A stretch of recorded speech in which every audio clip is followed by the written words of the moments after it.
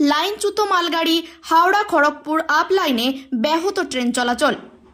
লাইনচ্যুত মালগাড়ি, যার জেরে হাওড়া খড়গপুর শাখার আপ লাইনে বন্ধ ট্রেন চলাচল।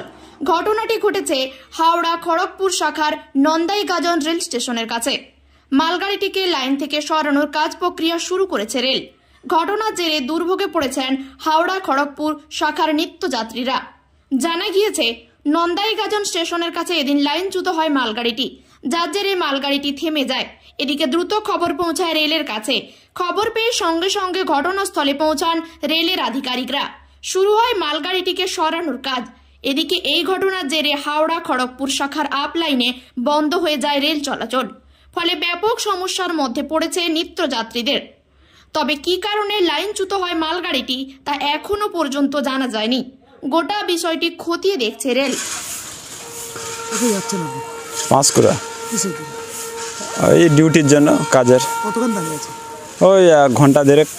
কি হয়েছে কি হয়েছে বলতে নন্দাগাজন থেকে মেছেদা যাওয়ার মানে এই মেছেদা থেকে নন্দাগাজন আসার পথে মিডিলে মিডিল লাইনে এক ধার লাইনে আর কি। মালগাড়ির মিডিল পজিশনটা ভেঙে মানে চাকাটা নিচে নেমে গেছে। নেমে যাওয়ার কারণে রেলের প্রচুর ক্ষতি হয়েছে। হওয়ার কারণে এপাশে কোনো গাড়ি আসছে না।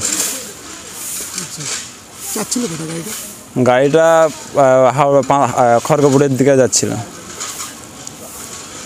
সাইডে পড়ে যেতে?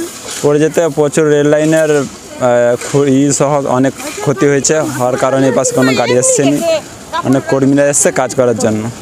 আচ্ছা গাড়ি এখন ট্রেনই যাচ্ছে মিডল লাইন দিয়ে যাচ্ছে এখানে কোনো গাড়ি দাঁড়াচ্ছে না। না। এখানে অনেক যেতে পারছি না। যাব বলতে সে পাশে আপলাইন হয়ে মেছেদা যেতে হবে, ওখান থেকে অনেক হ্যারাসমেন্ট করে আসতে হবে।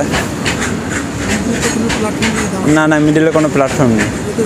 হ্যাঁ। গাড়ি বেরিয়ে যাচ্ছে সোজা। না মানুষের বাকিরা